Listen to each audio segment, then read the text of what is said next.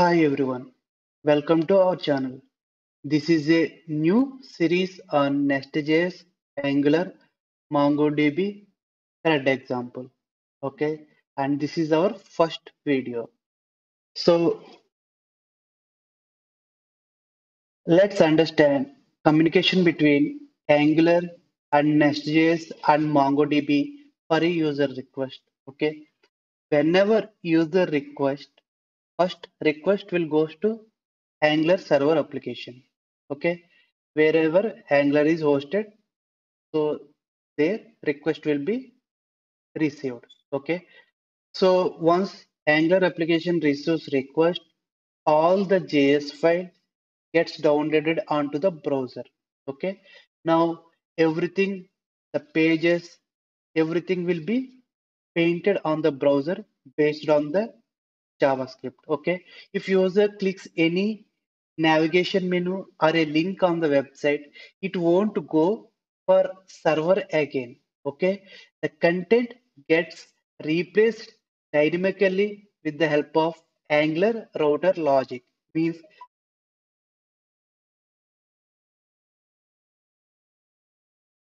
means for every request page won't be reloaded. Okay, so it is a single page technique. Okay, Angular application is a single page technique, but to display some dynamic content, content should be come from server. For that, we are going to use backend API. So in our case, we are going to use the Nest.js application.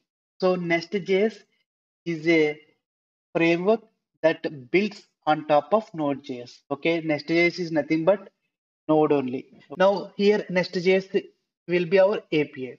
So the ja Angular applications will contain HTTP request. Okay, so those request gets invoked from our browser and that request goes to our API endpoint.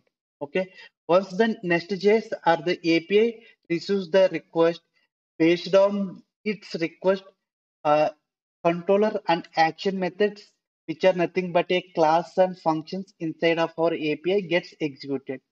And this API will invoke the MongoDB or any kind of database for fetching the data because API itself cannot store the data. Okay, the physical storage of data will be exist in the database. So here our API depends upon the database. So once the data is received, application returns that data as a response to the our client application, nothing but Angular application as a JSON format. Okay. Now once Angular application receives that data, it's dynamically bind and display the data on our UI. Okay, this is how flow exists with Angular and Nest.js and MongoDB communication for a simple user request. Okay, so let's try to create Nest.js application and walk through the existing files inside of it. Okay, for installing Nest.js or creating the Nest.js project, our local machine should contain the Node.js server. Okay, Node.js server helps to pull the required packages that are needed by our Nest.js application. Okay, so go to Node.js download page and based on your operating system, you can download your Node.js version. Okay, once that is done, the next thing is we have to install the Nest.js CLI in our local machine. Okay, so Nest.js CLI by, by installing Nest.js CLI in our local machine helps us to give a command line access for creating the Nest.js application into our local machine. Okay, so first you have to run this npm i for install hyphen g for global level and at the rate nest.js slash CLI. So this command we have to install in our local machine. Okay. After installing the CLI into our local machine, the next thing we have to do is we have to create our project. So this is the CLI command for creating project. Nest space new space name of your project. Okay. So copy this command and create a folder in your system. Okay. So in that folder, we have to, we are going to maintain both our Nest.js application and Angular application for our demo purpose. Okay. So after creating project, open that command line terminal. Okay. So paste the command and give an appropriate name for your project. Okay.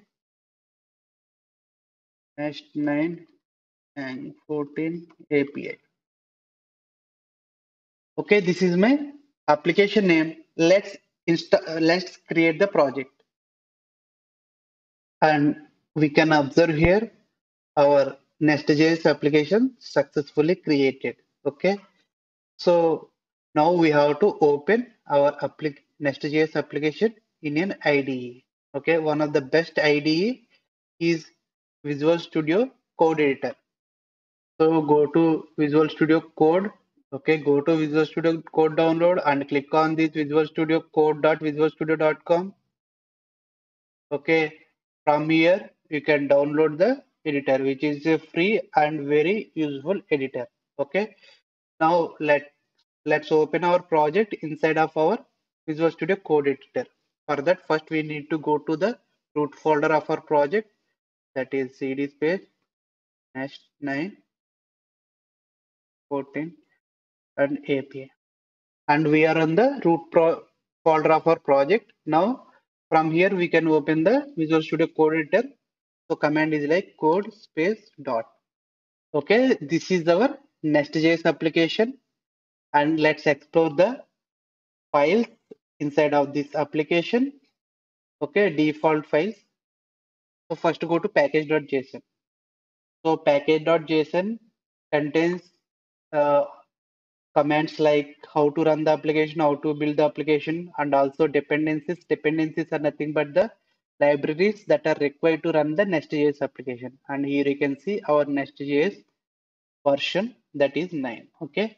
And like that, all the required dependencies for to run the applications, uh, their configurations will be added here. And dev dependencies. So these are also libraries but are required for at the time of development. Okay. So like that package.configurations will have all the commands and the library references. Next, you can see the tsconfig.json file. This contains how to uh, build the TypeScript or how to run and how to out, output the result once the, the application is built. All the configurations will be available here. Next, go to src and here main.ts file. So this is the entry file for our Nest.js application. And you can see here, it is using Nest Factory for to create the application start. It's using the app module. So app module is our root module of our entire Nest.js application. And here we can see one more configuration to run our Nest.js application at the port number 3000 okay so main.ts is our entry file. And app module is our entry module. Okay and here is the controller. So we have we know that api contains controller and the action method. So these action methods get get executed for each request okay? And here app.controller is totally optional. If you want to use it or you can ignore it. Same way app.service also totally optional.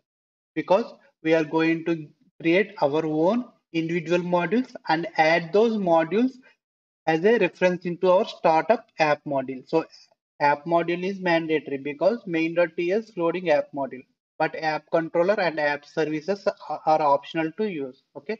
So those are the required files we have to know about in uh, our Nest.js application okay next let's try to add a debugger into our application okay so debugging an application is very important right for that let's try to add the debugger how to debug our nest.js application okay so for that first thing is click on this run and debugger menu item and here you can see to customize and run debug create a launch launch.json file. So click on this create a launch.json file.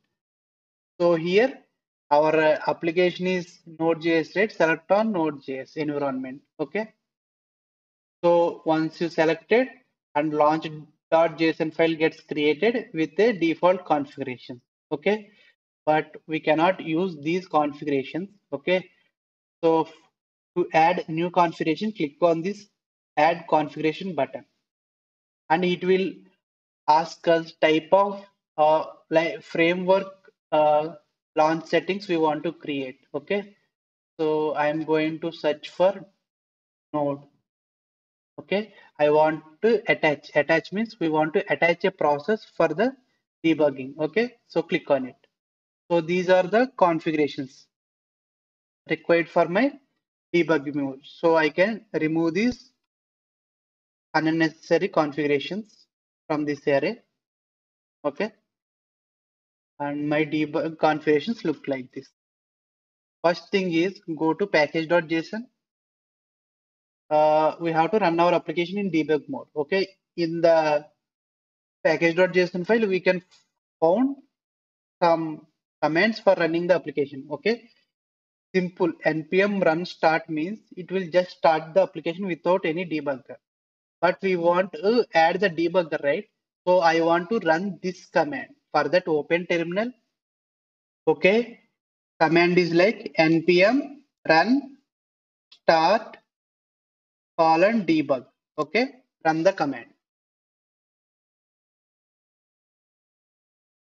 So here you can see our application is successfully runs and here you can see the existing uh, our routes in our application and you can see some console log here. Debugger is listening. Okay. Now go to my app controller to add a small testing debugging. Okay. So i want to add a debugger at this line. For that you have to click here. You can see a red red color dot. Click on it so if red color dot highlights here it is a breakpoint okay? So now go to again this run and debug and click on this attach button for starting debugging okay? Now you can see debugger is attached okay? Now if i access the endpoint i must hit the debugger at this line. So for that localhost i know the port number that is 3000 for my nest.js application. And you can see the debugger is activated. See so from this we can debug like this. So if you want to go over the step you can click it. If you want to go internally if there are any methods you can you can click it. If you want to come out out of the some method from the debugger you can click up arrow. Okay? If you want to go for next next debugger point you can click continue. Okay like that you can do. Okay so like that you can do. If you want to disconnect debugger you can click on the disconnect. Okay that is how we can enable the debugger into our nest.js application. Okay next we are going to create the angular 14 sample application